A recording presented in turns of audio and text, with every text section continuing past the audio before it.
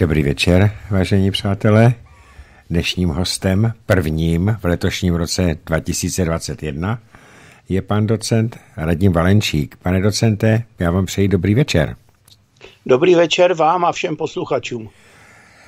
Protože jsme se tady setkávali na vlnách Svobodného rádia po celý rok minulý, tak já bych rád, abyste zhodnotil z vašeho pohledu, co se ten minulý rok odehrálo dobrého, co se odehrálo špatného, eh, jak to vypadá podle vás na té politické situaci. No a samozřejmě se zmíníme i o koronaviru, protože vím, že ho velice pečlivě sledujete. Eh, no, hodnotit události za celý loňský rok není jednoduché, ale já si pomůžu tím, co jsem zjistil, když jsem připravoval svý novoroční přání svým známým a teď jsem nevěděl, jak ho, ho vymyslet a nakonec mě napadlo, že se podívám, co jsem přál v loňském roce.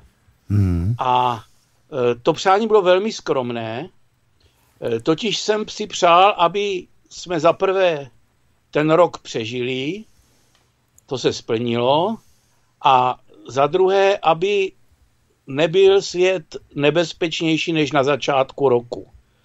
To se splnilo jenom částečně. Hmm. E, víte, lidé někteří mají takovou krátkou paměť a nepamatují se, co vlastně se dělo koncem předminulého roku a to se děly šílené věci. Já jsem to tehdy nazval explozi iracionality. Tenkrát ne na našem území, ta exploze iracionality byla spíše ve vedoucích orgánech Evropské unie. Vy si určitě pamatujete, že Evropský parlament přijal k výročí 80. výročí vzniku druhé světové války ano, ano. studné usnesení, které v podstatě hlavní vinu dávalo k Sovětskému svazu a ve kterém nebyla ani zmínka ani zmínka o Mnichovském paktu, což já jsem považoval za bezprecedentní, zvlášť když jsem se dozvěděl, že se připravují historicky nevýdané manévry v přímé blízkosti hranic Ruska, v pobalských republikách zejména, kam přijelo 20 tisíc amerických vojáků s vyzbrojených tou nejtěžší technikou a kde se připravovaly provokace, které měly vést k vyvolání válečných konfliktů, které se mohly stát nekontrolovatelnými, zvlášť když to bylo stínováno pokusem eh, podpořit eh, ruské jestřáby proti Jelcinovi. To byla situace, Putinovi, Putinovi. poměrně blízko od války a, a teď to je zajímavé, jak je všechno, všechno eh, zajímavě provázáno. My nadáváme na, koronavir, na koronavirus, ale to, že koronavirus zlikvidoval americkou armádu, kde se to rozbojilo tak, že část vojska se stala nebojeschopnými a byli to mladí kluci a tehdy nikdo neviděl, jak se ta nemoc bude vyvíjet dál, tak nakonec manévry byly slavně odtroubený a začal úplně jiný vývoj. Přitom i Putin musel zase odtroubit svoji vojenskou přehlídku, kterou eh, plánoval k 75 výročí pak ji dělal v omezené podobě později. Či kdyby měl minulý rok hodnotit, tak velmi stručně nedošlo k válce. A částečně tomu napomohl patrně i koronavirus. Já bych řekl, ano, koronavirus tomu napomohl, protože to cvičení Defense 20 eh, se nekonalo. Eh, nicméně jsem si teď vzpomněl eh, s tím koronavirem, že likvidoval americkou armádu, on likvidoval i americké námořnictvo protože eh, byla americká letadlová loď, já si nepamatuju ty názvy, ale byla to velká letadlová loď americká, jako každá, tak byla někde eh, na azijském kontinentu, přistála a tam se ti námořníci, eh, jo, přistála v Číně, protože odvážela americký tým, který se ve Wuhanu v listopadu 19 se tam konaly nějaký ty armádní hry, No a oni odváželi ty jejich, a potom, potom jejich odjezdu to tam propuklo. Odváželi ty jejich sportovce, ta letadlová loď, a nakazili se tolik námořníků, že ten nějaký admirál, ten velitel se rozhodl, že přistane na americké půdě a byl suspendován, že si to dovolil. A přitom tam bylo z pěti tisíc asi dva a půl tisíce pozitivně testovaných. Takže ono to likvidovalo ten koronáč i námořnictvo americké. No to já prostě pro to, kteří to zlehčují. Teď já nedokážu posoudit jednu věc, eh, protože my samozřejmě nevidíme pod pokličku toho, co se dojednává eh, v tom, jak já říkám, jádru současné globální moci, respektive na periferiích těch různých setkání kolem. Teďka bude to známé setkání v Davosu, ano, kde se ano. bude zase hledat, upozornil na, na, na to, co se tam zhruba bude dojednávat. Eh, Jan Campbell, poměrně hezký seriál, napsal eh, Předspěváci.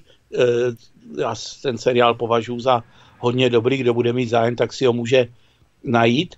A je možné, jo, a to nevylučuji, ale nepřikláním se k tomu, zdá se mi to nepravděpodobné, že někteří z těch, kteří jsou blízko globální moci, která se zabývá tím, jak získat neomezenou kontrolu nad, lí, nad lidmi, uchovat své právnost jenom části, malé části elit a ostatní lidi nějakým způsobem eliminovat buď přímo fyzicky, nebo je uzavřít do různých e, konzumních enkláv, e, tak e, zda, e, zda přece jenom si část lidí blízko toho mocen, těch mocenských center uvědomovala, že tady už jde o přežití lidstva a protože třeba dochází tam i k určité generační obměně, tak e, nějakým způsobem, e, a teď těžko říct, jestli vyvolali, rozšířili, podpořili ten covid, ale říkám, to se mně nezdá pravděpodobné, anebo jestli jsme měli takové štěstí, že zasáhl ten covid právě v tu chvíli, když to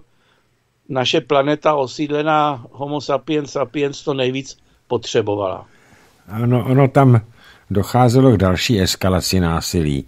Eh, vzpomeňme si jenom, že už bylo eh, opravdu jenom, jenom chvilička před otevřeným válečným konfliktem dvou eh, států NATO, tedy Řeckem a Tureckem. Tam zasahoval tehdy Trump a jeho válečné lodi tam připlavali. Teď se to trochu sklidnilo, ale na druhou stranu ty Turci neustoupili a neustále tam kradou. Bylo také genocida, začala genocida Arménů. A o tom bychom si mohli chvilku povídat. Jak to vidíte vy? Já jsem četl mm, zprávy nezávislých novinářů, kteří se tam byli podívat a říkali, že tam bylo eh, záměrně v tom Karabachu, v tom hlavním jejich městě, likvidováno, likvidovány obytné budovy, a v podstatě ty lidé byli donuceni odejít z toho Karabachu, a takže ty Arméni už e, v podstatě znova čelí genocidě, protože etnická čiš, čistka je genocida. Nebo to vidíte jinak? E, ne, má to všechny parametry toho, co se událo v Kosovu, včetně e, vypalování klášterů ano. křesťanských. Jo, čili to je podle nacvičeného scénáře, Eh, je to eh, jedna z cest, jak, eh, jakým způsobem část té globální moci se snaží redukovat stavy obyvatelstva, hmm.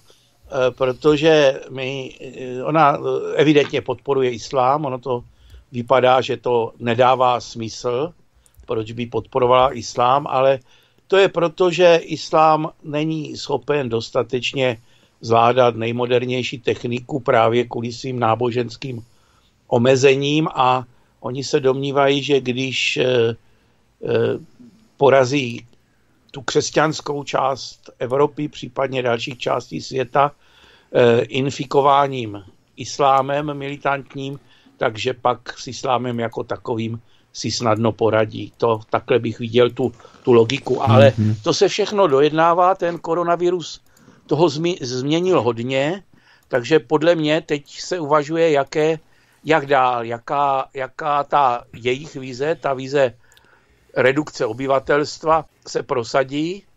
A e, samozřejmě vždycky, aby byli slohové, tak ta vize musí taky nabídnout za, odměnu za slohovství no v podobě, v podobě přežití a tudíž i bezohlednosti vůči, vůči tomu odsouzenému zbytku obyvatelstva. To se dneska neomaleně prosazuje, ale eh, jak já to vidím podle vnějších příznaků, tak ten nový světový pořádek teďka eh, ne, ne, to jádro eh, globální moci a jeho periferie mají v tom hodně nejasno. V tom světě se hodně změnilo a teď je příležitost pro to, aby normální lidé dali uh, rozumnější vízi, vízi, která bude přitažlivá a bude samonosná, prostě, která ukáže, že lidé mohou žít mnohem efektivněji i ekonomicky výkonněji, že, že teď nazrála, uh, nazrál čas pro pro velkou změnu k pozitivnímu. Někteří vizionáři předpovídají, že rok 2021 bude zlomový a že přidojde k velkým změnám. To, co se dělo v minulém roce ve Spojených státech, tak to zatím ve světové historii nemělo obdobu. Protože i mainstreamový tisk tady u nás, který je slouha slouhů, snad nejhorší, tak e, a televize, tak museli přiznat, že tam byly nesrovnalosti. Já tomu říkám podvody, volební podvody. E, tvrdí se, a to zase čerpám z alternativních médií, že e, Trumpovi oni ukradli několik milionů hlasů a navíc tam dali spoustu hlasů neexistujících k tomu Bidenovi. Jak vy sledujete, nebo jak vy se díváte na to, co se děje ve Spojených státech? Zeptám se přímo na tuto otázku. Nemyslíte si, že Spojené státy jsou před v podstatě občanskou válkou? No tak ona tam eh, hybridní občanská válka už probíhá. Jo, to už bylo to bourání so. Ano, ano, to ano. To, to už bylo to, co se dělo uh, při, uh, v reakci na tu podle mě připravenou uh, připravenou eskalaci situace po uh, té smrti toho černošského kriminálníka. Ano. A to jsou všechno připravené akce. Ukazuje se, že ten Deep State, což je součást toho jádra současné globální moci, má velmi silné pozice, že vydíráním patrně či jinými nástroji tohoto perverzního typu je schopen kontrolovat i část politické reprezentace sestávající se z republikánů. Samozřejmě takováto moc e, vždycky se může takto prosadit Rozhodně e, Spojené státy přestaly být vzorem demokracie, nebo ještě přesněji, tak se staly zemí, která pojem demokracie, který nám byl tak svatý v tom roce 68, tak ho diskredituje. A diskredituje e, tak, že někteří lidé mohou nabít dojmu, že nevratně. Přitom asi platí, že dobře fungující demokracie je Eh, nejlepší zřízení, ve kterém může člověk žít a žít v jiném zřízení eh, může být eh, efektivní jenom krátkodobě a v mimořádné situaci.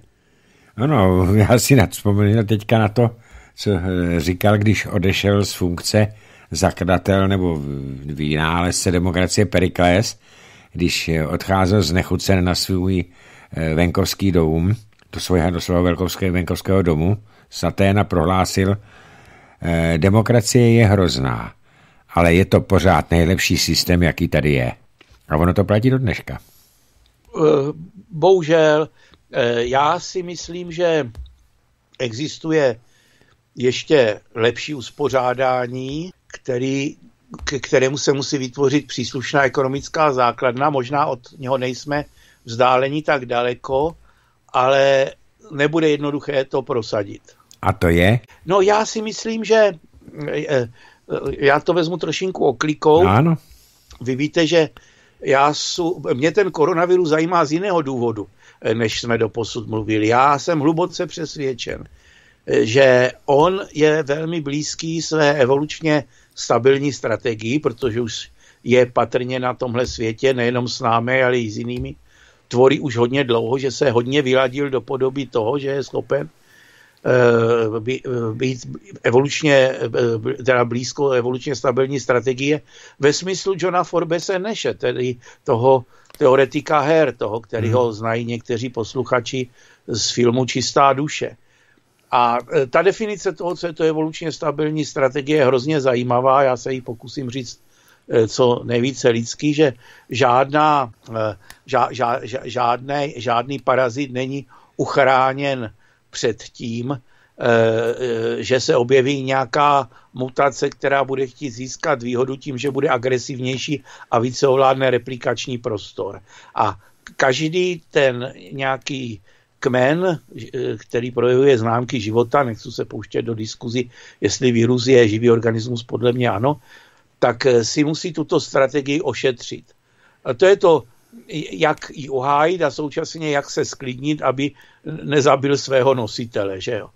A e, ta otázka, e, jaká je ta evolučně stabilní strategie toho mikroorganismu, nastolí otázku, a jaká je evolučně stabilní strategie člověka, Homo sapiens sapiens, na současném stupni rozvoje technologií, které propůjčují tomuto živočichu o něco vyspělejšímu, než je ten virus, obrovskou moc. A já se domnívám, že e, jediný, jediný co, co může být evolučně stabilní, e, a ještě malinkou odbočku, než řeknu tu pointu, tak tady tímto se zabývala e, v 70. 80. letech Evald Estrémová, ona pak žila ve Spojených státech, jinak to byla Švédka, dostala za to Nobelovu cenu za ekonomii, respektive část Nobelovy ceny, a zjistila, že v primitivních lidských pospolitostech si, si, si uhájit tu evolučně stabilní strategii proti vetřelcům, kteří by chtěli parazitovat na té pospolitosti, takže tam se takovéto mechanismy vytvořily.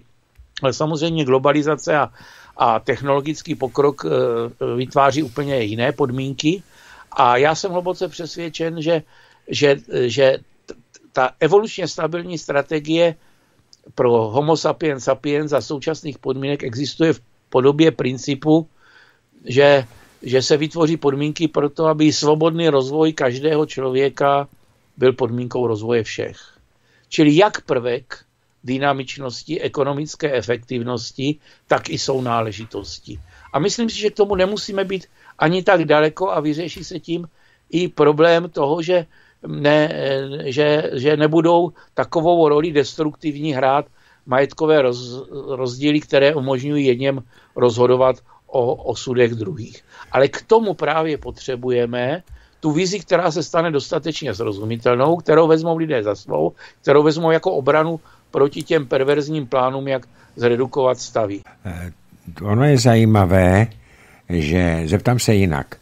Jak se díváte na existenci Evropské unie, proč vlastně vznikla v této podobě, protože ona tady byla už mnohem déle a byla v dobré podobě, tak proč vznikla v této podobě, proč ti lidé v té, na, ve vedení té ouská skupina 27, 27 eh, lidí, kteří nejsou voleni, ale jsou jmenováni za každý stát do, jako evropský komisaři, my tam máme tu Eh, naši paní Jourovou, kterou naši posluchači nazývají Jourová, tak eh, jak, jak vy vidíte v podstatě, proč vznikla tato Evropská unie, která dělá všechno pro to, aby tu Evropu zničila? No tak já si myslím, že to jsou jenom figurky dosazeny právě tím jádrem eh, současné hmm. globální moci, že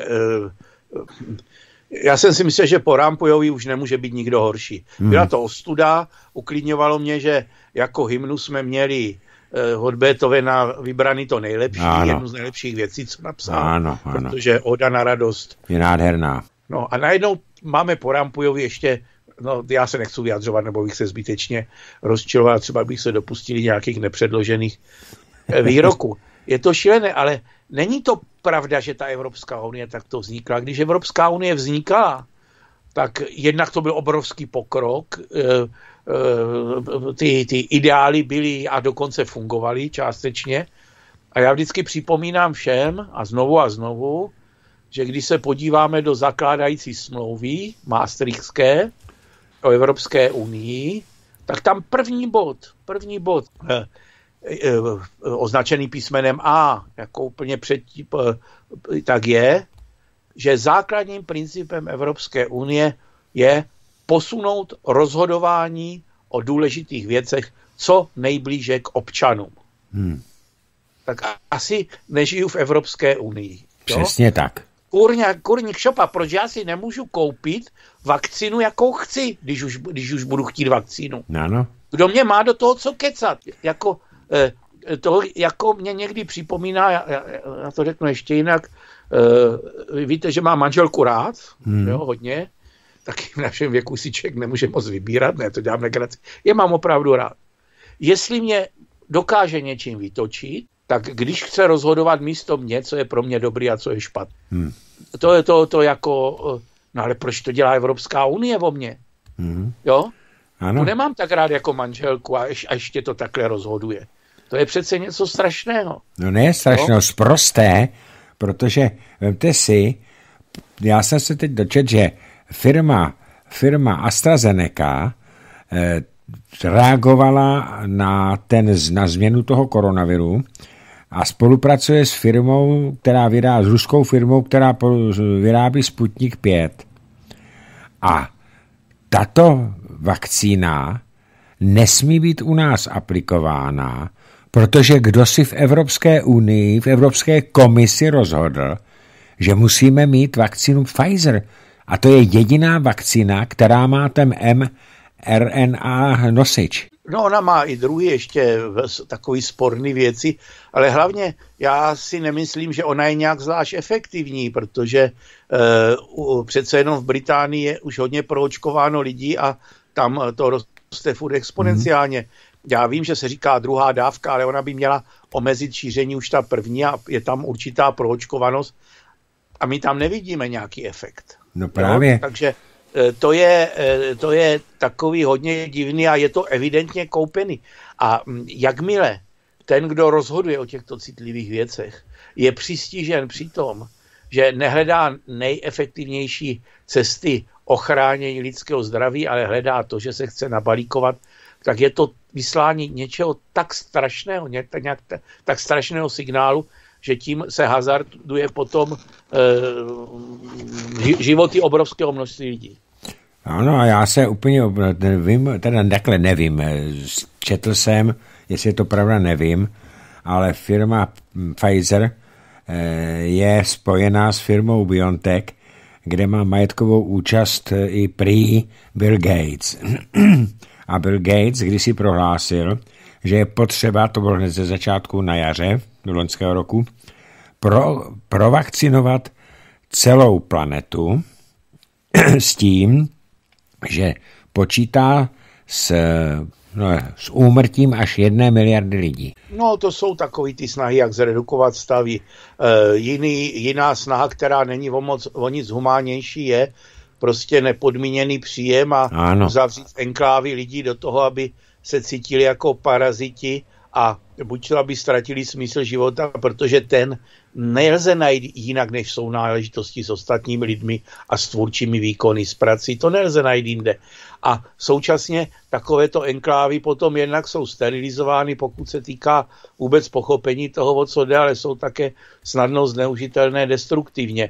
To já se divím mladým lidem, kteří prosazují nepodmíněný příjem, že si neuvědomují, že to je zrovna taková destrukce společnosti, jako je třeba připuštění militantního islámu. Prostě jsme vystaveni velkému množství rizik, proto já jsem v podstatě do tohoto roku zopakoval to, co jsem říkal v loňském roce, čili abychom ho přežili, abychom ano.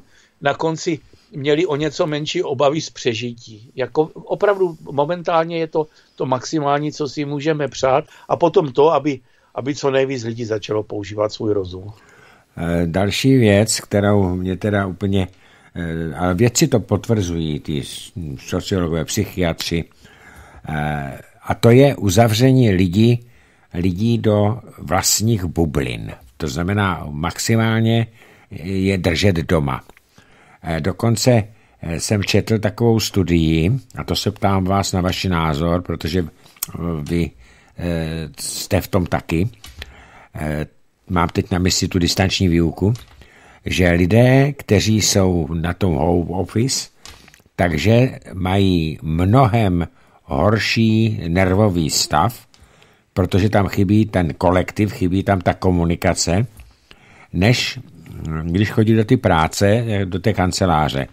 A tím, že lidi se uzavřou násilně do těch svých bublin, tak v podstatě ztratí, oni se odnaučí spolu žít. Zroste agresivita, už to vidíme.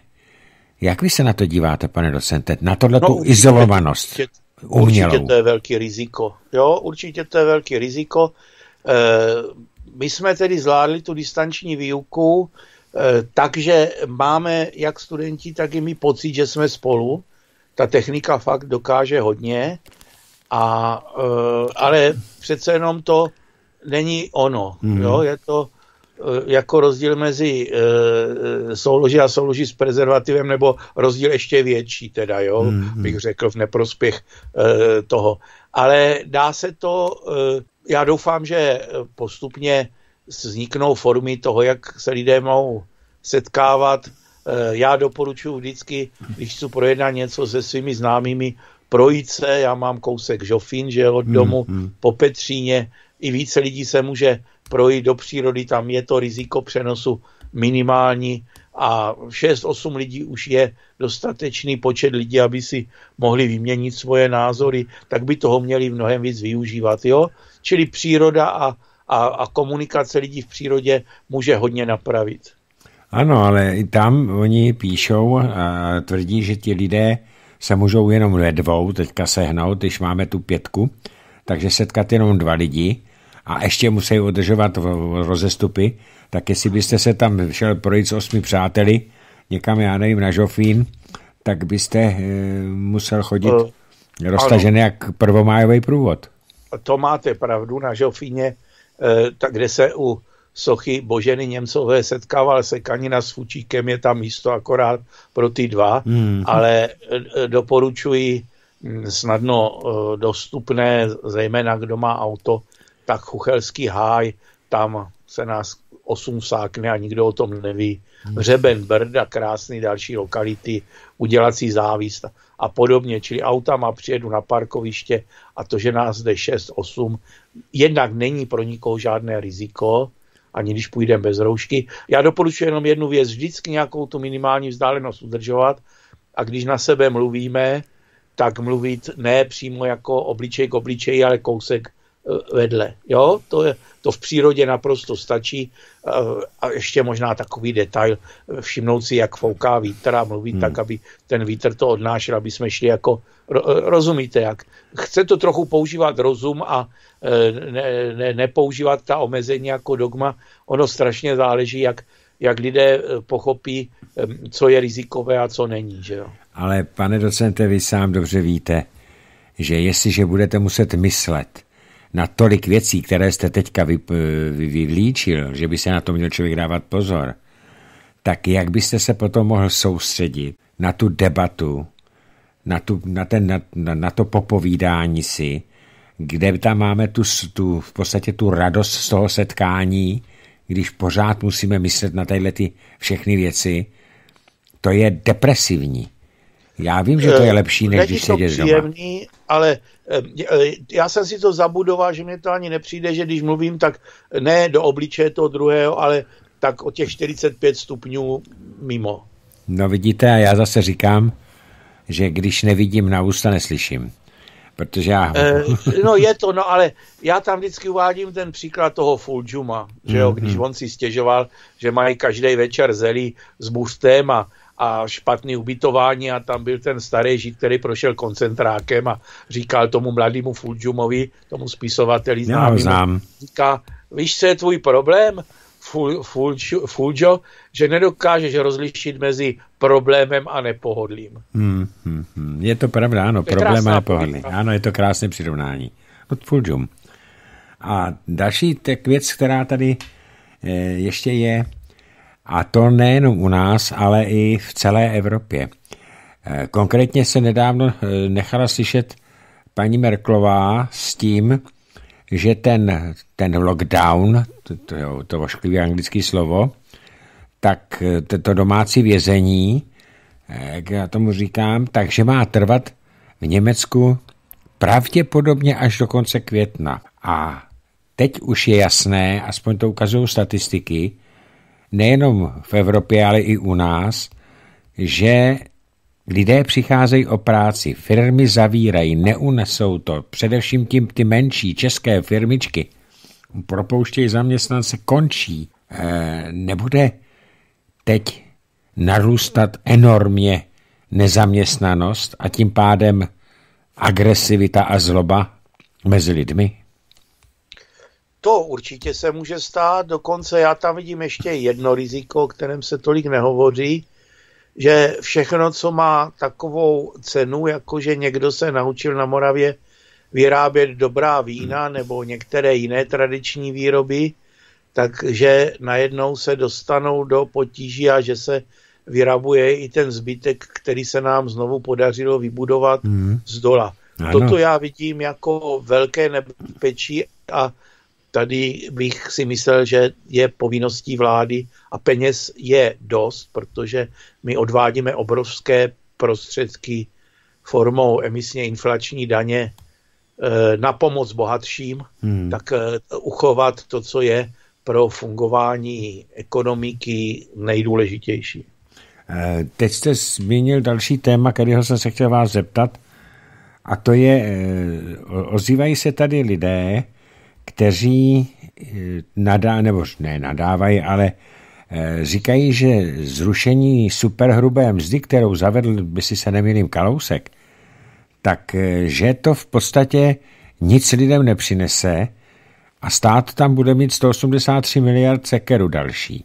Jak se vy na to díváte? Já jsem si na to koukal, ale i lidi, kteří budou mít ten příjem hm, hluboce podprůměrný, co si já nevím, okolo těch 15-16 tisíc, tak ušetří skoro tisícovku. Eh, pravda, ti, co vydělávají 100 tisíc, no tak ušetří mnohem víc, ale, nebo budou mít peněžence, ale to je přece logický.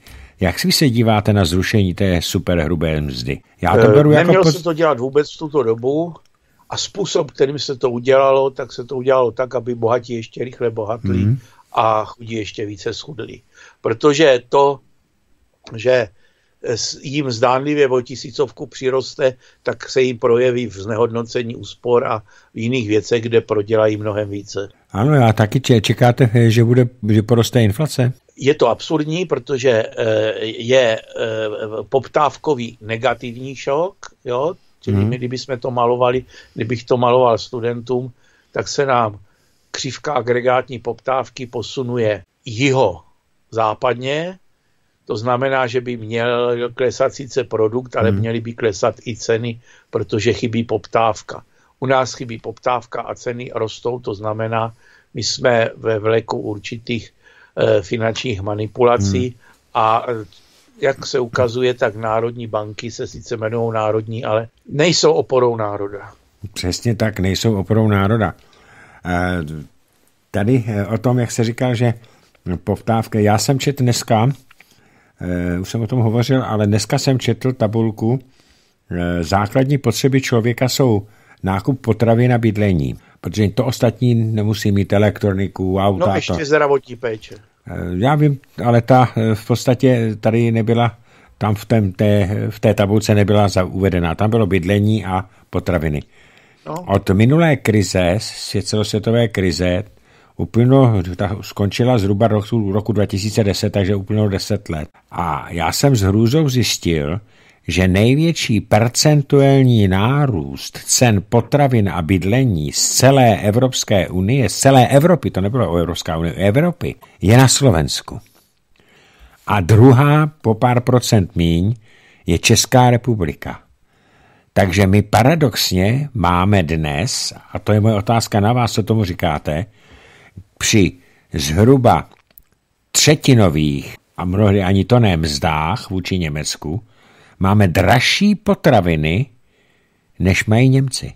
Můžete to nám nějak vysvětlit, když jste ekonom, můžete to vysvětlit? Já si říkám, že to je zásadní e, útok vůbec na, na naše národy, slovenský i český. No ano, tak silnější ždímou ty ty mladí, ale my jsme nejvíc ždímaný jinou věcí. E, o nejvíce peněz lidé přicházejí s nehodnocováním koruny. Přesně řečeno už tím, že se koruna nezhodnocuje. Hmm. Jo? Představte hmm. si, že by to bylo jak v době, kdy se velmi obezřetně uh, určovalo množství peněz oběhu, třeba stříbrných mincí. Ano. V době, kdy uh, prakticky dominantním producentem stříbra byla Kutná hora a vrchním minzmistrem byl Hinze Ptáček z Pirkštejna, hmm. tak tehdy hodnota té stříbrné mince roste. Oni samozřejmě taky dělali lumpárny a e, snižovali množství toho stříbra a tak dále, že jo, v těch mincích. E, a ten rozdíl mezi hodnotou mince a hodnotou toho stříbra se jmenoval ražebné. Hmm. Dneska je to rozdíl mezi nulou a vytištěním, teda respektive elektronickým vyrobením ano, těch ano, peněz. Ano. Prostě kam pošlu kolik nul s nějakým číslem na začátku, tak mě nestojí nic v podstatě, ani software mě, mě nestojí nic, jo. Hmm. A e, čili do toho oběhu a se dávají peníze. A teď centrální banka říká, no, my musíme cílovat inflaci, ta musí být 2%, protože při nižší inflaci by hodnota peněz rostla tak, že by lidé nebyli ochotní utrácet a to by mohlo ohrozit naši ekonomiku. To je argument centrální banky. Hmm, Takže centrální banka mě okrade o dvě věci. Hmm. Jednak to, že by měli vzrůst, dejme tomu, meziročně eh, hodnota mých peněz o 3%, hmm. V technického pokroku a ekonomického růstu, tak to mě vzala, oproti tomu tam dala peníze a, a ještě o další 2%, eh, jako tím, že mě se ty peníze o 2% znehodnotily. To je 5%.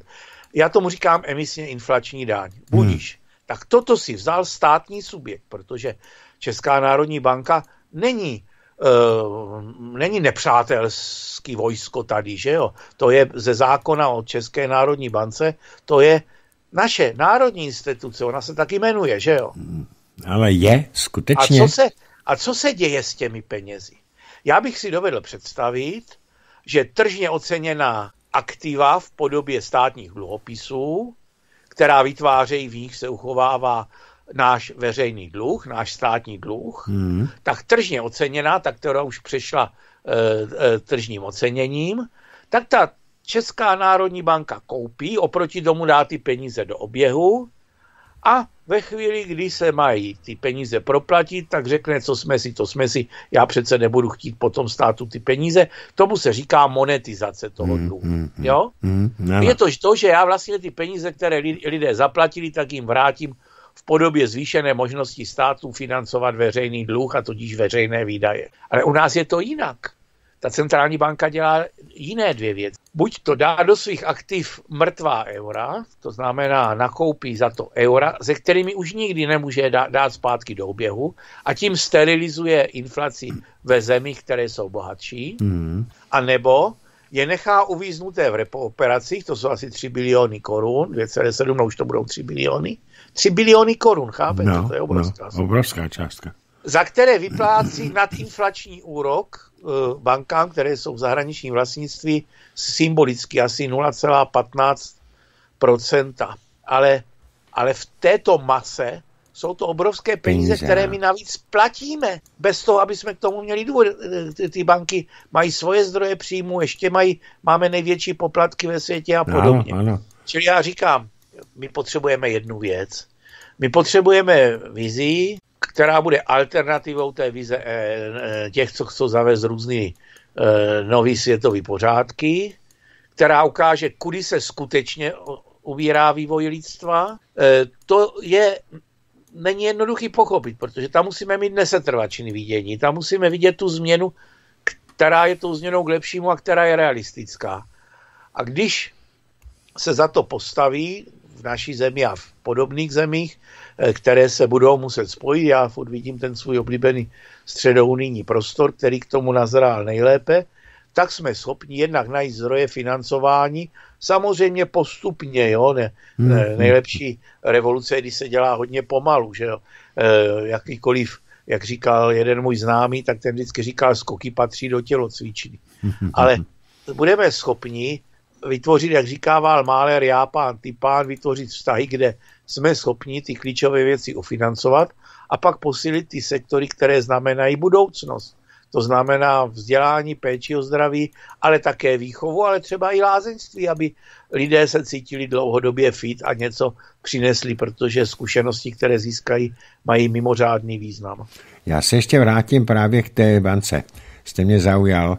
Já o tom taky vím, že jsou ty, my máme strašavé množství eh, na e-euro, Česká národní banka, protože s tím musela... 75% v rozvaze, možná 80 už. No, protože s tím musela snižovat eh, cenu koruny, ale proč to je mrtvé euro? Proč my nemůžeme teď to euro prodat normálně někam na normálních oficiálních finančních trzích? Protože v tu chvíli by koruna stvrdla a podniky by klekly, protože by nebyli schopni vyvážet. My jsme v téhle pasti. Kam nás zavedl pan Singer? Ano, pan Singer ten dvakrát dvakrát tam eh, nakupoval a revalvoval. Ale teď se zeptám ještě jinak, pane docente. Znáte velké české, ryze české firmy, které vyvážejí do zahraničí, anebo jsou to všechno jenom eh, zahraniční vlastníci? Já si myslím, že dvě třetiny naší produkce, to je takový hrubý odhad, vyváží do zahraničí. Ale bohužel 80% z toho jsou reexporty, že my to vyvezeme za nákladový cenu. Ziskovou tak. marži si, si, si přivlastní ti, kteří nás nutí provokovat Ruse a Číňany a, a přijímat různý embarga, aby se pak na tom nabalíkovali. Přesně tak. Prostě teď děláme ze sebe kořeny. Děláme ze sebe voli.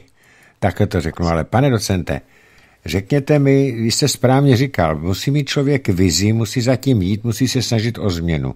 Ale jak to má tak řadový člověk, který má snahu něčemu pomoci, vlastenec, co má udělat? Já tam nevidím moc možností, kromě toho, aby roznášel všude, s kým se setká, aby eh, přesvědčoval lidi, aby přišli k volbám, a aby opravdu masivně zvítězili vlastenecké strany, ale já tady vidím vlasteneckou stranu jenom jednu, bohužel. Já si myslím, že měl velkou pravdu eh, Miloš Zeman v eh, předloňském vánočním projevu, protože ten loňský byl vlastně nedávno, že jo? Mm-hmm. A co on říkal v tom předloňském vánočním projevu? Já už si On říkal, že nejdůležitější je myslet a myšlení bolí. Prostě jo? i ti lidé, kteří dejme tomu, neměli příležitost studovat nějaké kvalitní super školy, jo, tak eh, proces poznávání a to, jak tím, že něco si přečtu, může to být i kvalitní literatura, může to být, může to být popularizace výsledků vědy, ale musím to spojovat se svými zkušeností, prostě každý člověk má povinnost na sobě pracovat.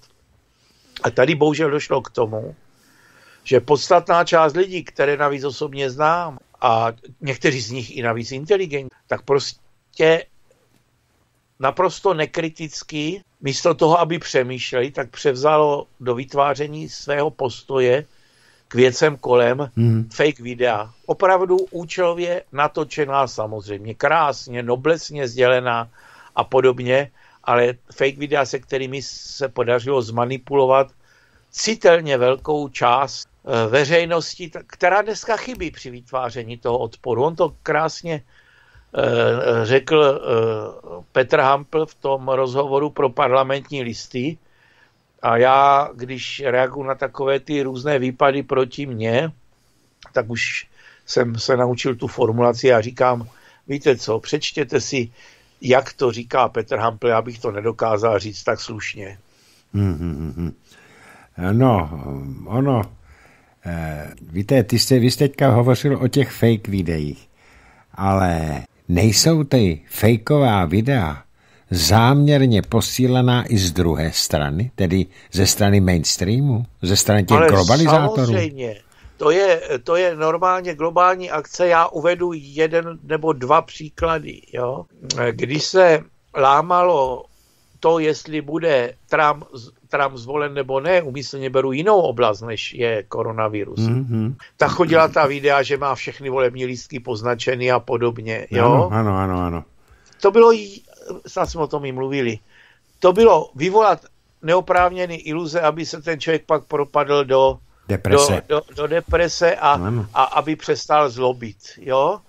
Eh, tam bylo tolik těch fake videí a prostě určitě lidé, já jsem se snažil varovat, jsem říkal, vytvářejte si svůj názor. Takhle se s váma manipuluje. Strašně těžko se to vysvětluje. A ještě vás považuji, že jste zlej, že jim berete iluze. Ano, Ale protože tomu jinak, nerozumím. jak jsem byl teďka na Sloven přes, přes Vánoce, protože e, máme tam přízeň, že manželka je z východního Slovenska, tak já nevím, jestli to víte, ale Slovensko velmi výrazně posílí v tom mezinárodním vývoji, protože Trump se přestěhuje na Slovensko. Neříkejte. To jste ještě neslyšel? Neslyšel. Dokonce si vybral město, ve kterým bude žít. Víte, který? Nitru? Ne, kousek od tam. Zvolen. Zvolen.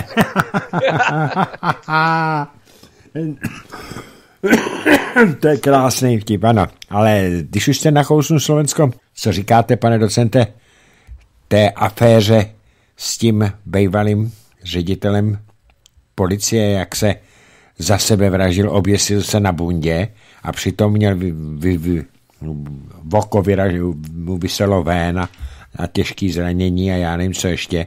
Co tomu říkáte všemu? Asi byl hrozně nešikovný. Asi byl hrozně nešikovný. že cvičí každý den, aby měl dobrou fyzičku. E, ne, je to hrozná věc, ale eh, tam je mnohem horší jiná věc. Ze, ze všech těch událostí kolem toho, e, tak nejstrašnější bylo, že to se stalo, myslím, 29. prosince, jestli se nepletu. A už se vědělo ten den, to dokonce proběhlo v hlavních zprávách, hmm. že tam není úplně všechno v pořádku a že už má mozkovou smrt. Ano. O dva až tři dny později má projev Čaputová, která mluví o očistě soudních orgánů a orgánů činných v trestním řízení, jak je Slovensko na dobré cestě. Ano. To považuji za vrchol cynismu. To je? To považuji za něco, co, co normální prezident, nevím, to si nemůže dovolit, když se stane takováhle věc. Eh, no, když je to takovýhle vysoce postavený člověk. Eh, pane docente, co říkáte tomu, že když byl Eh, zavražděný ten novinář Kuciak a ta jeho přítelkyně Martina, to její jméno si nepamatuju, tak to vedlo k ohromným demonstracím, které byly řízené, byly tam samé anglické nápisy a byly tam eh, profesionální eh, demonstranti z celé Evropy. A vedlo to k pádu premiéra Fica. Tady je záhadným způsobem Eh, usmrcen nebo zemře člověk, vysoce postavený, který toho hodně ví a ticho po pěšině. Žádné demonstrace, žádné volání, aby ten komik Matovič uh, abdikoval, rezignoval. Jak je to možné, že tady neznámý novinář, když ten člověk podle mě vůbec to nemělo s politikou nic společného, to, to byly nějaký, já nevím co, No generál to nebyl. No a právě. Policie a... být generálem není žádná sranda. A teďka nic. Ale hmm. tak to se dalo čekat, no tak eh, celá ta hra je o tom, kolik lidí se dokáže vymanit z té obrovské manipulace, ke které dochází. Je to v zájmu jejich přežití. Hmm. A jak jsem říkal, utrpěli jsme velkou ztrátu tím, že se podařilo vytvořit iluzi, že celý koronavirus je chřipečka, je to vymyšleno a spousta lidí to začalo brát tak nekriticky, že, že oslabili řady těch, kteří, kteří, kteří, kteří se snaží té manipulaci vzdorovat. A za to budeme platit asi ještě dost dlouho. No, hodně dlouho. Vždycky tak, jako my to vždycky kopírujeme Německo, to jsem si všimnul. I v této koronavirové e, anabázi a v tom šílenství. Za prvé teda já mám před tou nemocí, před tím covidem velký respekt a protože my jsme ho prožili a přežili jsme naštěstí, u mě teda opravdu naštěstí. A na druhou stranu, ale, ale to jsme odbočili, já se vrátím, potom se k tomu dostaneme ještě, ale já se vrátím k tomu, k tomu generálovi.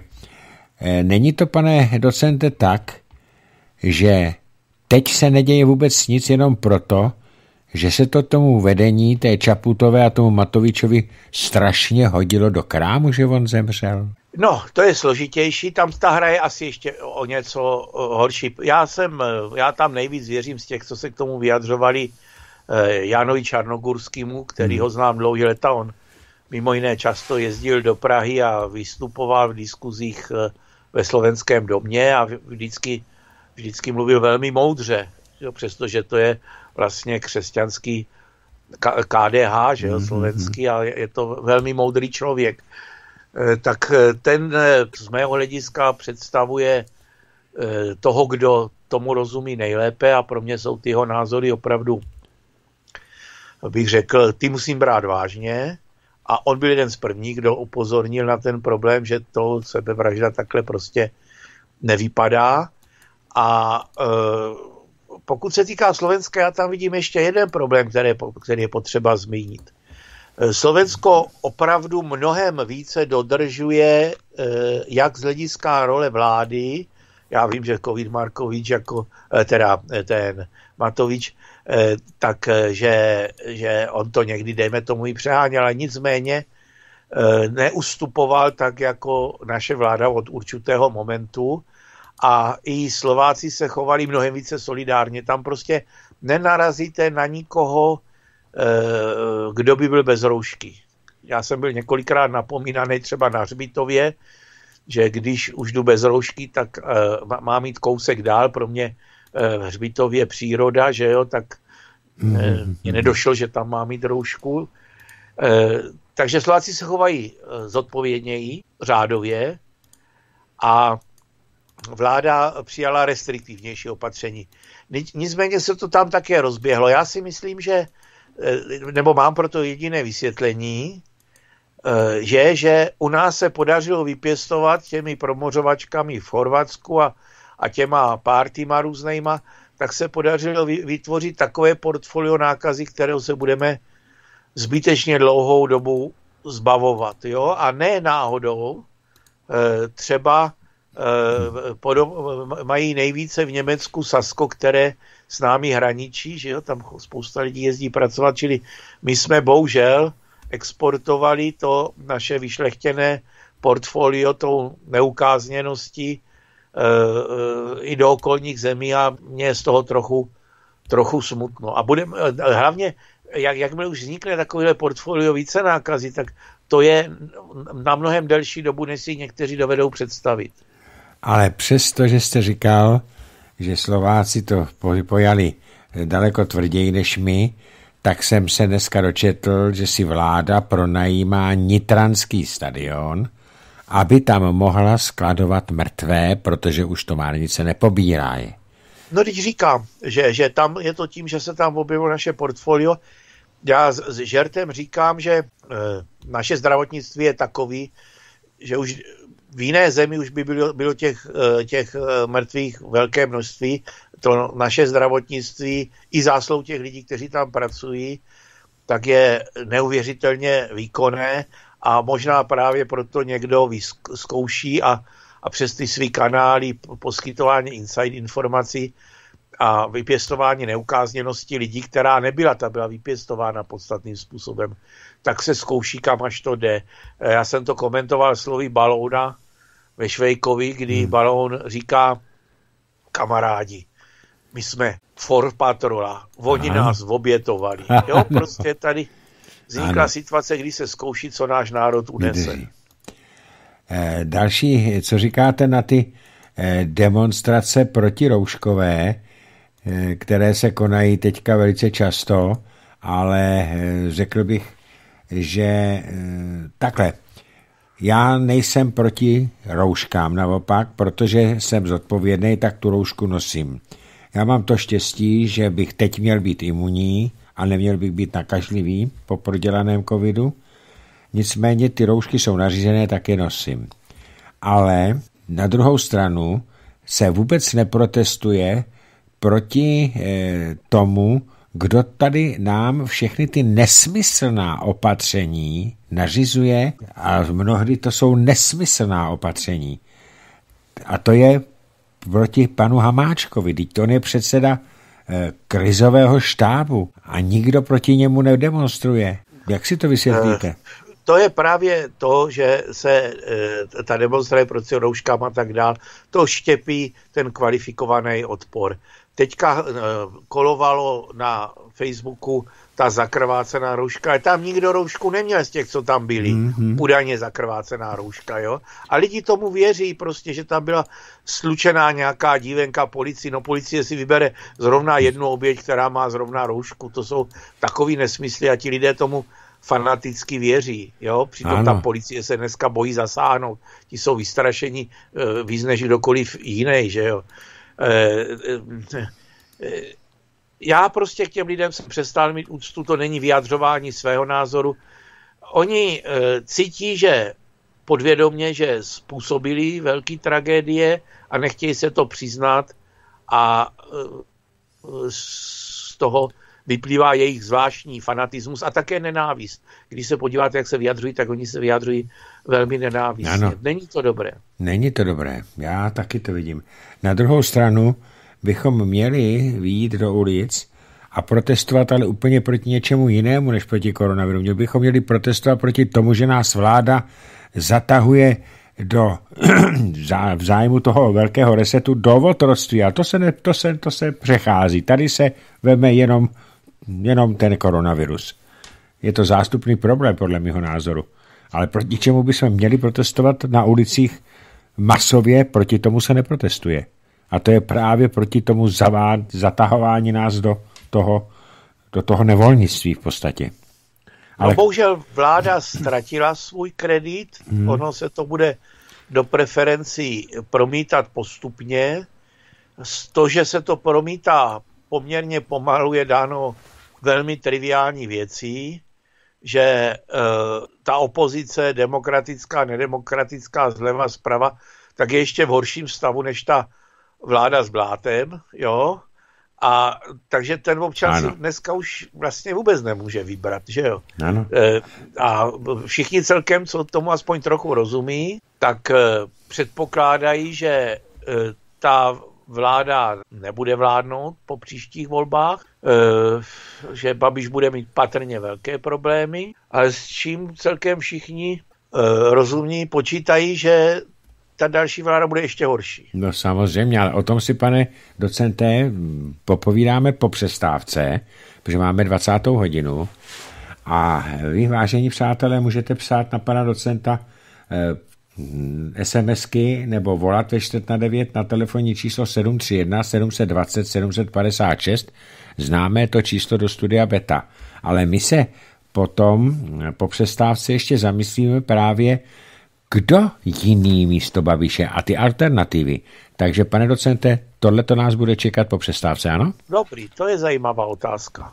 Tak, takže do na, na, na 9 se zatím odmlčíme. Máme po přestávce a já volám pana docenta Valenčíka. Slyšíme se? Slyšíme. Dobrý večer ještě jednou, pane docente. Takže než dáme Dobrý prostor večer. posluchačům, tak by mě zajímalo, eh, co si myslíte vy, kdo teda místo Babiše?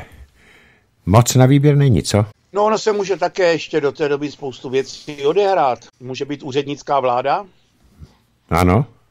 Eh, tu sestaví si prezident podle sebe, tam může vládnout i bez důvěry, v podstatě až do vole, bez větších problémů. Podle mě tomu dneska brání jediná věc, že ani ne, že by nebyli lidi a tak, ale že se ne přesně úplně ví, co by měla dělat. Prostě eh, ne, ne, není nikdo, kdo by na sebe tu odpovědnost vzal. Mm, mm, mm.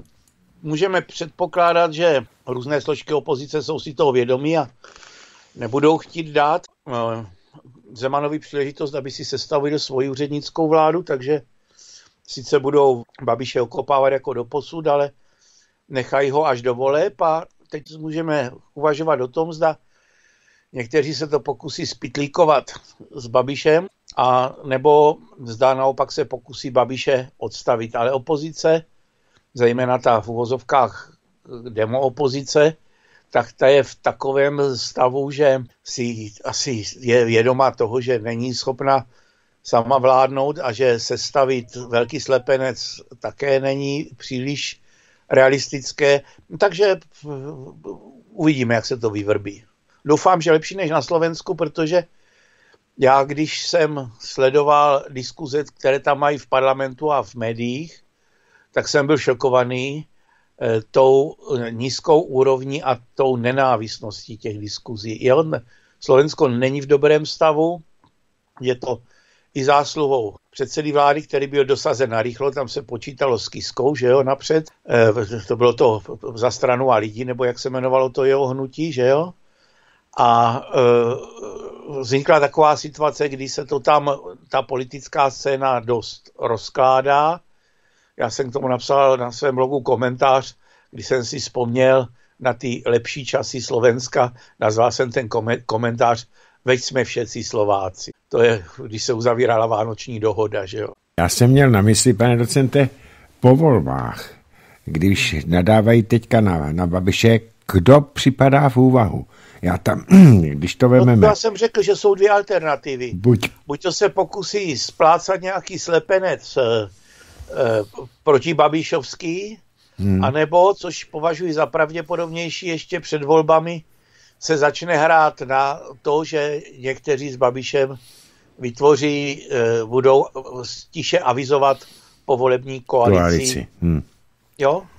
No, protože Babiš stojí sice za starou bačkoru, ale když si představím, že by tam byl eh, premiérem, tak jak už je vychvastával eh, ten eh, pirát Bartoš, no tak mě obchází děsa hrůza, čeho bych se to ještě dožil ve svém životě. Odjezd, taky asi bude změní, že tam dá Kubu. Ano, Kubu. Co jenom je trošku racionálnější. No. Uvidíme, to je ještě moc daleko, ale první, co by nás mělo zajímat, jestli před volbami vznikne úřednická vláda nebo ne? No, uvidíme. Já už jsem eh, to tady očekával, protože jsem čekal, že to eh, ta vláda se to položí ještě do konce roku, no nestalo se tak, takže já nevím, jestli na ten tři čtvrtě roku by to ještě mělo smysl, ale on se do toho nikomu nechce, protože teďka při tom, při tom průšvihu s tím covidem, tak kdo by tam šel, že jo? Takže uvidíme. Tak, vážení přátelé, my teď jdeme na vaše dotazy a můžete i telefonovat. Já teď mu SMS-ku. Tak, eh, první SMS-ku. Zdravím do studia. Co říkáte, pane docente, na dnešní slyšení pana Landy na petiční výboru v poslanecké sněmovně ve věci petice Blanický manifest? Děkuji za odpověď a velmi zajímavé povídání Hana z Jižních Čech. Úplně výjimečně jsem to četl, ale spíš náhodou, protože já zase nesleduju tak ty největší novinky. No tak řekl to pěkně. On má tu schopnost uh, být rétorem. Uh, mě tam trošku vadila jedna věc jediná. Uh, mně ne, nepřipadne spravedlivý obvinovat vládu kterékoliv země, že nedává přesně dopředu, co se bude dít. Teď to neví nikdo. Hmm, jako těch ne, věcí, které jsou neznámé, je spousta a říct, že vy nám to řeknete dopředu a jinak nemůžete nic dělat, tak to znamená požadovat něco, co je nereálné, podvazovat vládě. Jinak má pravdu, že eh, když vláda eh, dopustí to, aby podléhala tlaku různým lobby nebo dělala věci, ze kterých eh, má jí někteří její členové nebo na vládu napojení osobní zisky, tak to diskredituje potom všechno opatření. To tam, myslím, ten Landa řekl poměrně přesně. Pak se ztrácí ta důvěryhodnost a to si prostě v takovéto situaci žádná vláda nemůže dovolit. A tady jsme u toho, pane docente. Tahle ta vláda eh, a její různí ministři zdravotnictví, už byli tři za tu dobu covidu, tak oni v podstatě eh, skákali ode zdi ke zdi. A e, na jednu stranu nezavřeli i hned hranice, trvalo to dost dlouho, pak se ozvali pendleři, tak se tak se hledalo, jakým způsobem to udělat. Němci to udělali tak, dneska jsem to četl, že Merklová jasně řekla, že prodlouží, prodlouží ten výjimečný stav, nebo nouzový stav, a dokonce omezila pohyb lidí na maximálně 15 kilometrů od domova. A bude to policie přísně kontrolovat. A to tam byl návrh na 5 kilometrů, podobně jako to měli, no ještě hůř to měli v Izraeli. Ale, pane docente, Izraeli se nesmělo jít dál než 500 metrů od baráku. Když měli lékárnu dál, tak si to museli nechat dovíst zásilkovou službou. A přesto se jim ten covid teďka rozjel tak, že mají neskutečné množství eh, nakažených a nemocných a mrtvých. I no, přes... No, bohužel mají, jsou na deseti tisících, což je strašně moc. Oni mají o něco méně obyvatel než my. Já to považuji za, ale spravedlnost tam to neexistuje. Já mám jediný vysvětlení, že pro každou zemi je hrozně nebezpečné, když se tam vytvoří líhně více nákazy. A tam patrně e, to způsobili ortodoxní židi a ohrožují budoucnost Izraele jako takového. E, u nás jsou to nezodpovědné skupiny mladých, který si říkají, budeme promořovat a hmm. vybijeme ty starce, aniž by si uvědomovali, že oni jsou dneska už více ohroženou skupinou svým způsobem. Ano, oni taky už na to trpějí. E, takže jdeme na další dotaz. Hned jenom, co to otevřu. E, dobrý den, pánové, děkuji za zajímavý a inspirativní pořád a mám na pana Valenčíka prozbu, zda by nemohl blíže vysvětlit pojem monetizace dluhu. Z jeho zmínky předchozí hodně jsem to nepochopil. Jirka Matušek z Ostravy. Tak to je poměrně jednoduchá věc, to se dříve používalo. Eh, veřejný dluh nebo státní dluh existuje v podobě dluhopisů vydaných tím státem. Ty dluhopisy eh, mohou kupovat v normálním státech i domácnosti, u nás výjimečně, že, ale jinak jsou běžně na trhu, a nebo to kupují finanční skupiny, různé banky a podobně. No a teď centrální banka má možnost operací na volném trhu.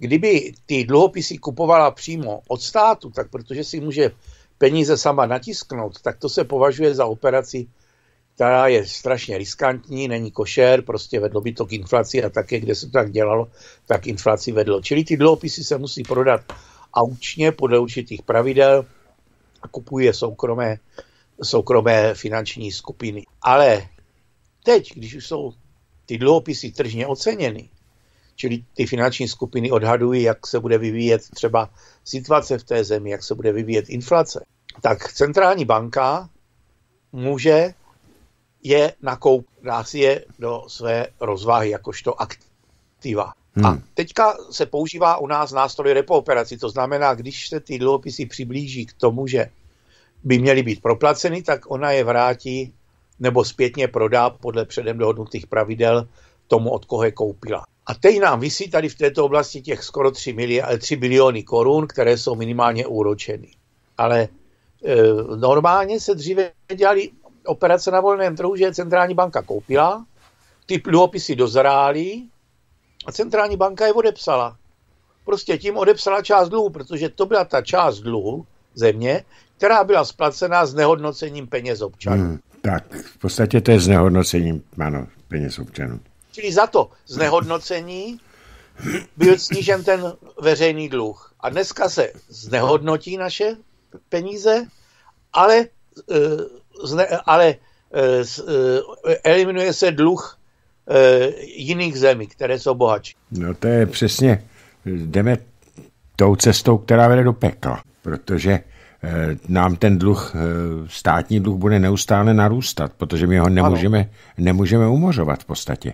Ale... tom dávno už, už by byl snadno pod kontrolou a je to proto, že v dnešním bezohledném světě si silnější řeší svý problémy na úkor slabších. Samozřejmě my jsme pouze kolonie a kolonie je určená k tomu, aby vyráběla peníze a vdrancovala se.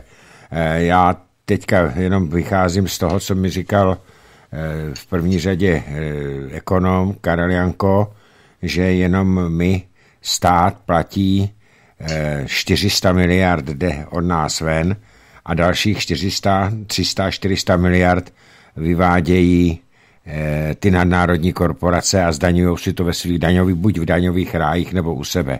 Například třeba Škodovka ta, taky ten zisk, ty dividendy si vyvádí ven, takže tady ty peníze nezůstávají Oni se tady vyrobí, udělají a jdou, jdou ven.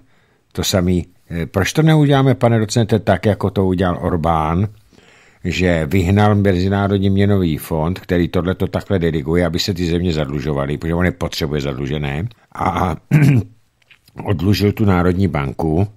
A teďka tam mají, že ti řetězce a ty nadnárodní korporace musí danit v místě svého podnikání a smějí vyvážet snad jenom nějaký procento z těch dividend ven, já teďka nevím, jestli 25%, ostatní musí zůstat v Maďarsku. Proč to nejde u nás? No, protože je slabá vláda.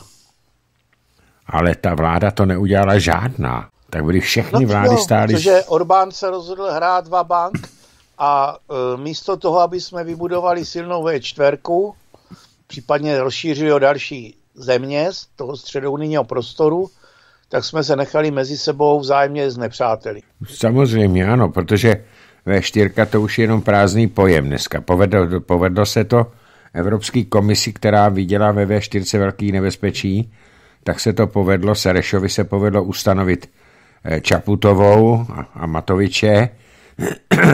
v Polsku, v Polsku jdou vlastní eh, cestou a eh, takže Maďarsko taky, takže v podstatě V4, když se scházejí, tak to je jako když se sejdou čtyři stranici na pivě, ale jinak to nemá sebe menší význam, protože už nedrží spolu, nepostupuje no, jednotně. To byl jeden z, důvod, z důvodů, proč byla taková snaha na likvidaci Fica. Ano, přesně tak. Musel být zlikvidovaný Fico.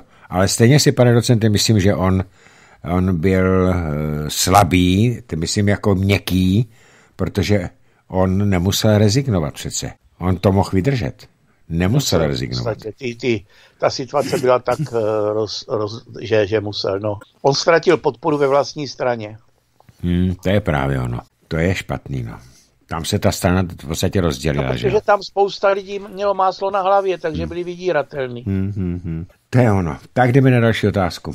Dobrý večer k takzvanému koronaviru. Tady by se mělo zabránit nekontrolovatelným přeletům těch cizích vojenských letadel, které to tu rozprašují, ten chemtrace, toho se toho nikdy nezbavíme a můžeme roušky nosit tak zběsilí. S pozdravem píše Kamil. No já tady na toto řeknu to velmi kulantně, na tyto otázky nejsem odborník. Ale ono se o tom chemtrace už mluvilo dokonce na těch eh, vědeckých eh, místech a ve vládě. Dokonce prezident Zeman to zmiňoval a taky se mu nelíbilo, dokonce prohlásil, že by se to mělo aspoň o 30% snížit. Jo, ty, tyhle ty chemtrails. A je to vidět. E, já jsem se dokonce, a to jsme tady u toho, pane docente, tady e, pan Kamil píše v podstatě, že nám ten koronavirus házejí na hlavu ty věry. Jo, ale jestliže, teď mě zajímá jedna věc, jestliže ve Velké Británii mají nový kmen koronaviru, stejně jako my tady u nás na podzim teď, to je taky nový kmen. Ale ne, měli tam zavřené hranice a ten koronavirus toho anglického typu se objevil ve Švédsku u lidí, kteří nebyli ve, v, Němec, eh, v Velké Británii, nebyli tam a nebyli nikde, kromě svého města. Nikdo tam nepřijel a přesto se tam objevil. V Jihoafrické republice se objevil další typ koronaviru, ale už se objevil i tady v Evropě, aniž by tam někdo z toho státu byl. Tak mi to vysvětlete, jak se sem ten virus dostane, přece nelítá letadlama, dopravníma teda.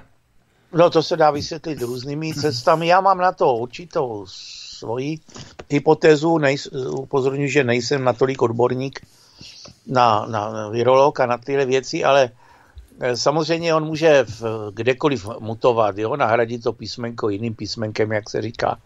Ale on patrně tím, že je poměrně vymakaný jako organismus, tak eh, tam dochází k tomu, co já nazývám mutační oscilace, že on mění určité sekvence v nějakém cyklu, jo, nebo kolem nějaké, pod, eh, a to může tím reagovat i na nějaké vnější podmínky, třeba na to, jestli Eh, imunitní systém na některé ty mutace reaguje tak, že začíná ohrožovat i ty mutace, které předtím neohrožoval, ten imunitní hmm. systém, protože on dlouho určitě v různých enklávách ve světě s námi žil a eh, nespůsoboval nějaké nemoci a eh, tím se to dá vysvětlit. Jo? Čili on nemutuje libovolně, on si vytvořil určitou logiku těch mutací my bohužel o ní víme velmi málo.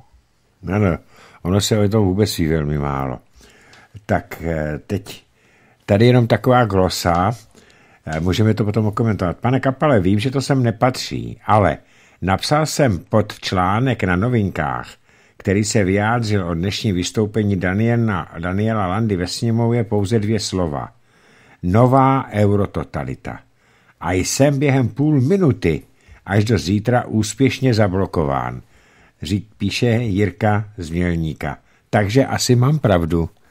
Tak co říkáte na tu cenzuru, pane docente? No to je dost hloupá, tady toto jako když někdo cenzuruje, tak nechápu důvod. No. To je legitimní názor, který může někdo vyslovit a uh, to uh, horlivost cenzoru přehání. Eh, my On máme... z toho dělal v srandu Hašek. My máme tady v ústavě, že cenzura je nepřípustná. Ale jak si to máme vysvětlit? Je to, je to i ukotveno v listině základních práv a svobod. Pane docente, já se ptám, jak je možné, že paní europoslankyně Jourová eh, věnovala na potírání takzvaných dezinformací, i když jsou to takové dezinformace, jako jsem teď tady čet, 3,5 miliardy euro.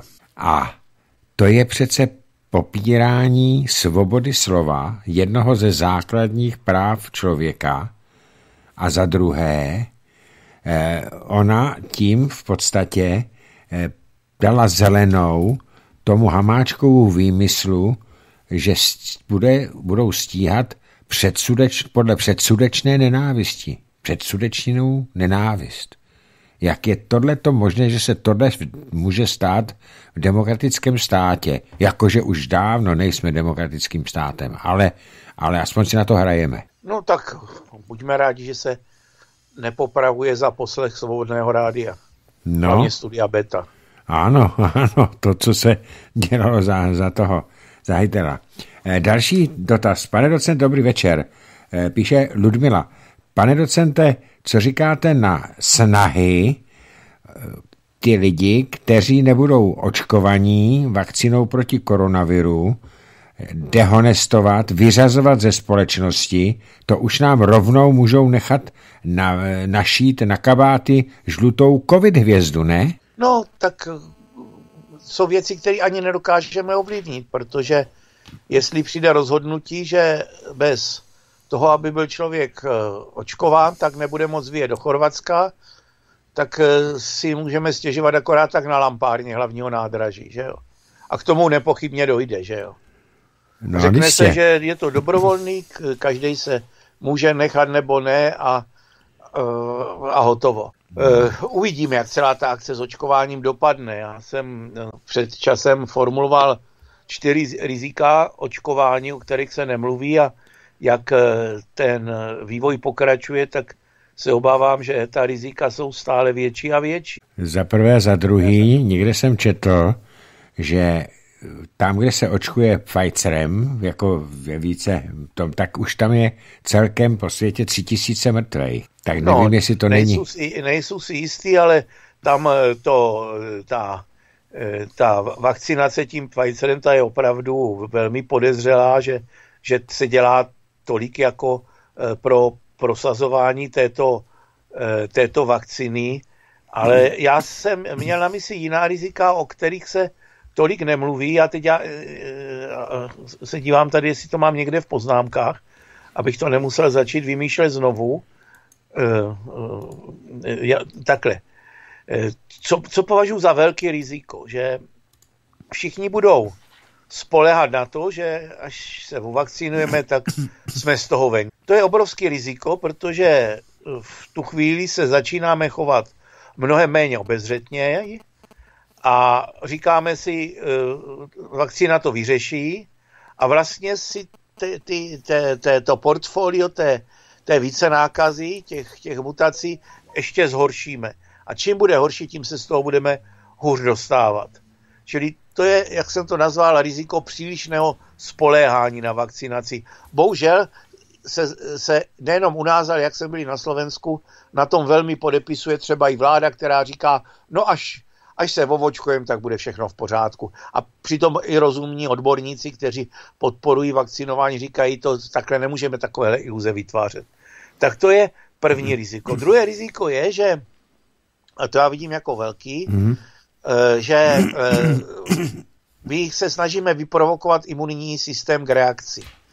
No ale to si přečte ten virus jako, že musí zrychlit svoji replikaci, protože v tom prostředí, kde se nachází, působí jeho konkurent. Hmm. Jestli je pravda, že má takovou evolučně stabilní strategii, tak my vlastně bráníme jeho sklidnění. Eh, což tak trošku vypovídá eh, to, co se děje dneska v, v Británii. Jo? Že ona se může dostat ještě do větších čísel a než by zapůsobil ten ochranný efekt vakcinace, tak mezi tím eh, dojde k tomu, že ta vakcína přestane být z logických důvodů účinná. To je taky velký riziko. Co je hodně velký riziko, je, ono to souvisí s tím prvním, ale je to ještě trochu jiný aspekt, je to riziko upnutí se na vakcínu a následné beznaděje. Jo? Prostě eh, lidé už takhle projevili málo trpělivosti, už projevili málo ty fulžomovské ochoty považovat něco za nepohodlí, brali to pomalu jako tragédii. A teď, když se ukazuje, že ukáže, že vakcína selhala, tak to může mít velmi devastující dopady na eh, lidskou psychiku a na, na, na vztahy mezi lidmi a na vztah lidí ke státu a podobně. A za čtvrtý, a to je hodně, hodně velký riziko také, je riziko zneužití rozhodování o přístupu k vakcíně ke geopolitickým a komerčním hrám prostě. Jednak hmm. jsou v tom miliardy, či no, přesněji biliony, a jednak je to otázka prestižní. Jedná se o pozici státu, o vytváření nových bloků pro dobu kost, kost, eh, post-covidovou. A to může vytvořit eh, takové eskalace mezinárodní situace, které si ani nedokážeme dneska ještě dost dobře představit. Čili toto jsou rizika, o kterých se moc nemluví a které já považuji za relevantní. Já bych k tomu dodal ještě jednu věc. Eh, lidé, kteří si říkají, že se nechají vakcinovat a tím pádem jsou chráněni proti covidu, tak ty vyvedl nějaký epidemiolog, který říká, že to není, že to není vždycky tak, že ten covid, ten koronavirus, že ten covid mohou dostat, ale když budou vakcinovaní, takže to bude mít lehký průběh. Jo, takže tím, dobrý, no. Takže tím, ale ne, není možnost to porovnat s tím originálem, jaký průběh my byli, to přesně tak. vakcinování. Eh, navíc, eh, ta vakcína má být prý dvou, dvou injekční, dvoufázová. Ano, ona je taková, no. A teď navíc ještě musí se skladovat Pfizer minus, minimálně minus 70 už se tady stalo, že to nedodrželi při převozu a museli to vyhodit, ale hlavně nikdo neví, a to jsem taky četl od vědců, že eh, jak dlouho ta imunita po ty vakcinaci, jestli vůbec, tak jak dlouho bude. Že to nikdo neví, že to může trvat taky jenom půl roku, nebo rok, nebo dva měsíce, nikdo to neví protože to je něco nového. A další věc, proč nám pro boha Evropská komise přiřadila Pfizer, tu nejhorší z vakcín, proč my, hlupáci, jsme se neobrátili na eh, třeba na eh, Ruskou federaci a na ten Sputnik, který už vyvážejí, oni ho nestačí vyrábět, jak, jak je zájem ve světě. A nebo když aspoň tu, tu AstraZeneca, tu vakcínu od firmy AstraZeneca, která na té, eh, řekl bych, novelizaci té vakcíny na ten nový virus zareagovala spoluprací právě s vědeckými laboratořemi, které vyrábějí Sputnik. A já bych se třeba tím Sputnikem oočkovat nechal. Pfizerem se oočkovat nenechám. No, asi tak, jako eh, je to, ne, ne, není to dobrá situace. Není to dobrá situace. Je to zase to znedůvěry hodně tu vakcinaci. Přesně tak. A hlavně ten diktát z té Evropské komise. Budete mít Pfizera. Jo? A nemůžeme si vybrat. Máme tady Pak ten... mají ty vakcíny všechny jede, ještě jeden, jeden obrovský nedostatek. Hmm. Že se tam nesmí asi měsíc pít. No to říkali, ano. ano. Tak, tak já to... budu čekat, až vyvinou lepší vakcínu. já taky. A já, mě by to teda nevadilo, protože já nepiju a takže by mi to nevadilo. Ale máme telefonát. Dobrý večer. Dobrý večer, pane Kapale, slyšíme se? Slyšíme se dobře. Dobrý, já se chtěl něco optat. Eh, vrátil z Litomyšle. Uh, Věr přeci k tomu nemá zabíjet hostitele. Oni má žít, parazitovat, ale není učený k tomu, aby to hostitele zabíjel. To je přeci nesmysl.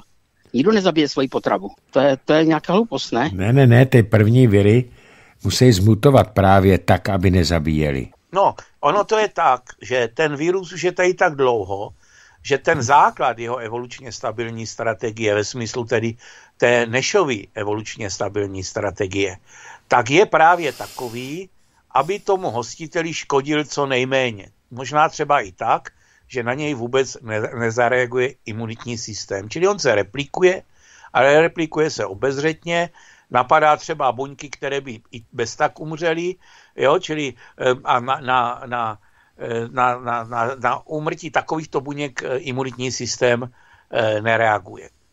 To je základ té evoluční strategie. Ale teď se objeví mutace, která chce obsadit větší kus toho replikačního prostoru. Já to vždycky uvádím na tom příkladu té pastviny. Jo? Někdo, kdo chce mít více obcí a nastříhat více vlny. Když předtím bylo domluveno, že každý bude mít 10 oveček a on si pořídí 20 nebo 30.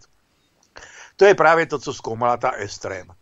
A teď jde o to, jak se tomu bránit. No a ten virus nemá možnost vzít hůlku a vyprášit kožich tomu, kdo porušil pravidla. On má jedinou možnost zrychlit svoji vlastní replikaci. To, když udělá, tak samozřejmě ohrožuje toho nositele. A projeví se to jako nebezpečná fáze epidemie. Ale současně ten virus v sobě má za tu dlouhou evoluci zabudováno přirozenou tendenci ke sklíňování. Jenomže ten virus nepočítal, nebo ten, ty při, mechanizmy přirozeného výběru nepočítali s tím, že dojde k takové obrovské koncentraci globálních styků, k takové intenzitě vazeb, kdy on by se sklidnil, vyslal signál, ale mezi tím se objeví další parazitní mutace, která jako zrychlila.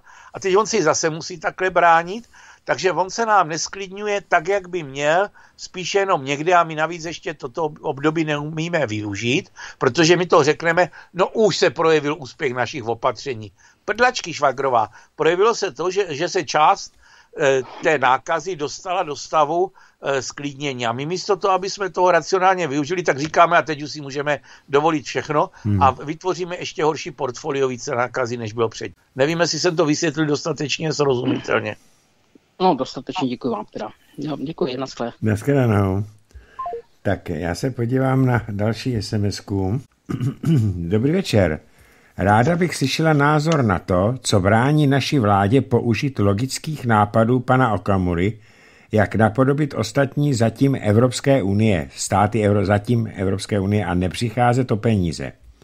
Dále, proč už dávno nevědí občané České republiky přesně, co je chemtrails, proč nás kropí, kdo to dělá a jakého jsou chemického složení. Děkuji, Emča. No já zase řeknu, že opravdu na tyhle otázky nejsou specialista.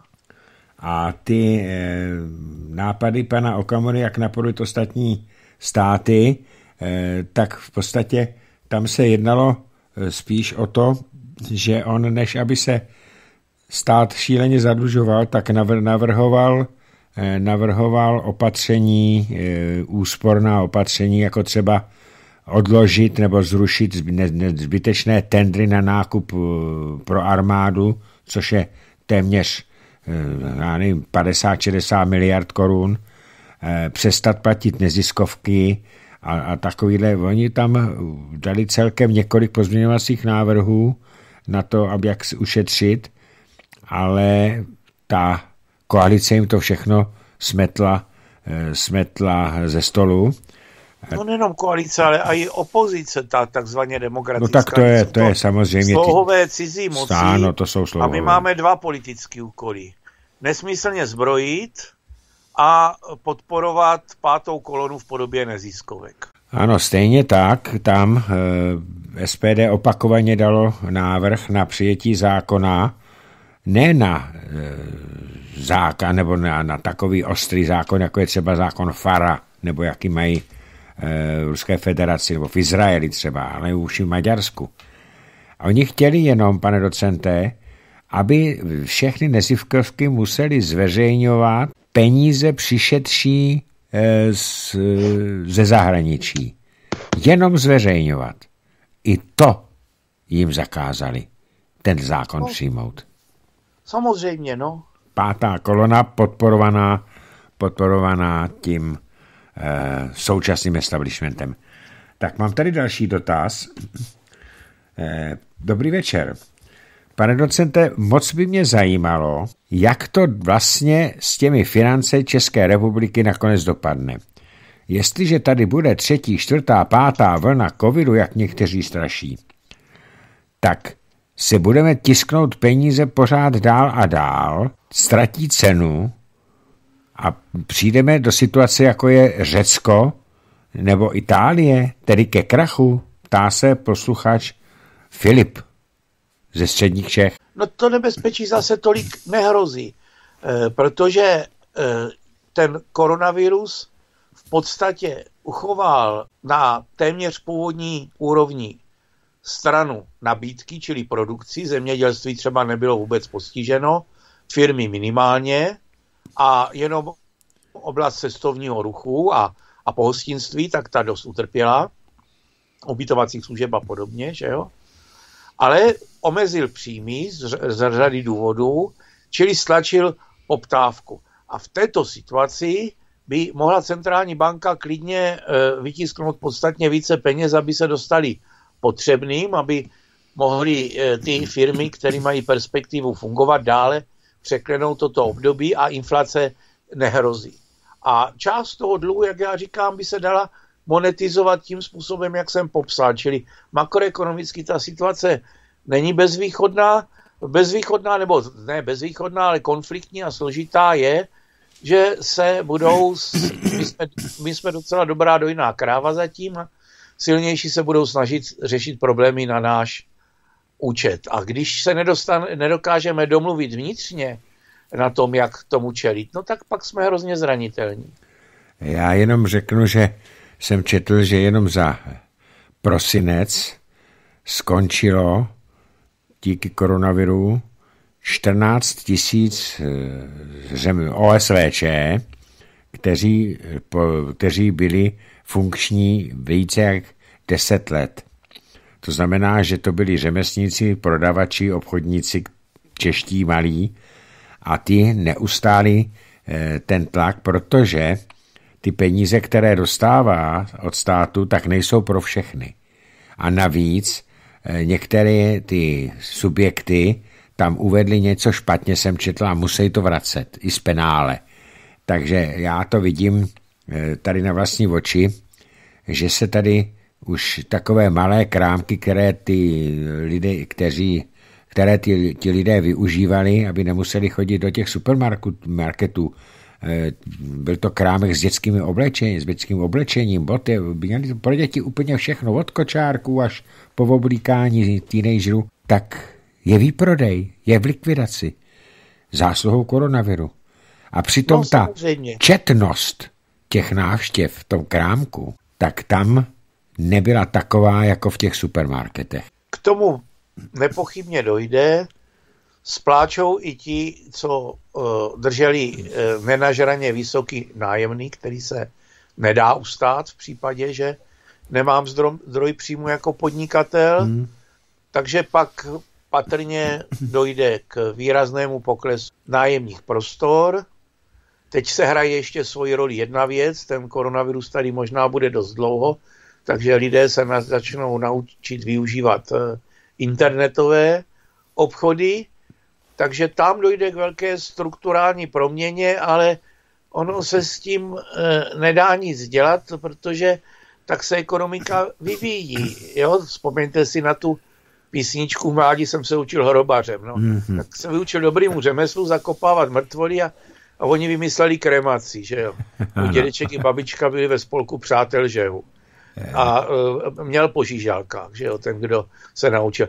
Samozřejmě máme na mysli jiné věci, e, těsnopis, že jo, všechny holčičky na středních ekonomických školách se kdysi dávno učili těsnopis a byla to Nobel no, Nobel vzdělání. Ano, že? já si to pamatuju, ano. Tam i kluci a dělali velmi rozumně, protože se hnedka dostal do štábu nějakého vysokého manažera, že jo, a o tam se kariéra dělala lepší, než když přišel s diplomem vysoké ekonomické. No a najednou byly diktafony a, a, a kromě parlamentu e, si to mohli strčit všichni za klobouk.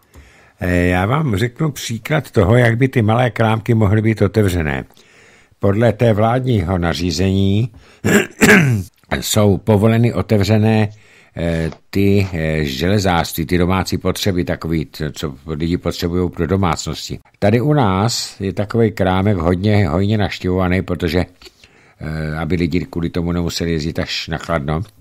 A oni tam udělali opatření velice účinné.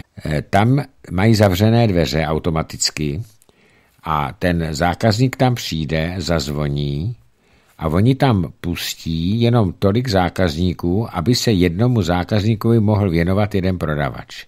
Těch prodavačů jsou tam tři. To znamená, každý ten prodavač si toho zákazníka veme do jiného koutu, tam spolu komunikují, co potřebují. Ti ostatní musí čekat. Proč by se toto nemohlo udělat, takovéto opatření, a to není nařízení, to si udělali sami. A v rámci ochrany svého zdraví a musí se tam chodit v rouškách, sami ty mají, mají taky roušky. Oni nemají roušky, mají respirátory dokonce. No a... samozřejmě navíc v těch malých krámcích zpravidla kupují lidé ze sousedství. Tak. Eh, dávno si mohli dát to nejatraktivnější zboží jenom jako vystavit do výkladu s tím, že na zavolání na toto číslo nebo na tuto internetovou adresu, tak vám ho doručíme domů, že jo, a podobně. Prostě u většiny těch to šlo a někteří to využívají. Tam taky záleželo, jak se k tomu kdo postavil. Ale právě, jestliže tady je to dětské oblečení a dostane to zákazem od vlády, tak může vymýšlet, co chce. Ty lidé tam... Ne, já to dětské oblečení můžu e, dopravit domů, zejména před Vánocemi. Uh, už se, pane doktorente, já jsem e, včera hovořil s jedním mým známým, jehož žena si koupila nějaké oblečení eh, po internetu a e, bylo to číslo úplně nesouhlasilo, teda ono bylo stejný, ale ten, ten, tento velikost nesouhlasila, takže to musela jít na poštu vrátit, zase čekala frontu na ty poště, objednala si teda větší číslo, taky zase poslali moc veliký. A právě kdyby šla do toho malého krámku, vyzkoušela by si to, no. tak tam bude Ale jednou. To je zase právě na to měli ty malé krámky reagovat tím, že řekli, že to vyzkouší, že to doručej v danou hodinu a vyzkoušej to za přítomností. Jo? Tím mohli mít konkurenční výhodu. Mně spíš vadí to, dvě věci mě vadí, Ale že oni musí vláda zavřeno. věděla, že nahrává supermarketům, který měli plný sortimenty věcí, které e, nespadaly pod ta omezení. Takže tím válcovali e, ty prodejny šatů a a technických nářadí a podobně, keramiky a podobně, protože to nezapáskovali. Přitom mohli tu část produkce zapáskovat a vyřadit s pokladem. Teď už to je, pochopitelně. A když jsem to tehdy navrhoval, tak ti největší křiklovní, kteří oplakávali ty malé obchudky, mě nazvali totalitářem, že chci ještě tohle omezit. Přitom to bylo jednoznačně na ochranu těch, těch, těch menších. Ano. No. Takže ono jako někdy lidé reagují, že e, nejsou schopni přemýšlet, cokoliv se rozhodne je, je špatný a já mám tak tolik negativních zkušeností s lidskou hloupostí, že, že mě to opravdu hodně překvapilo, že, že to může v takovém rozsahu. V naší zemi, na kterou jsem hrdý, tak že to může v takovém rozsahu být.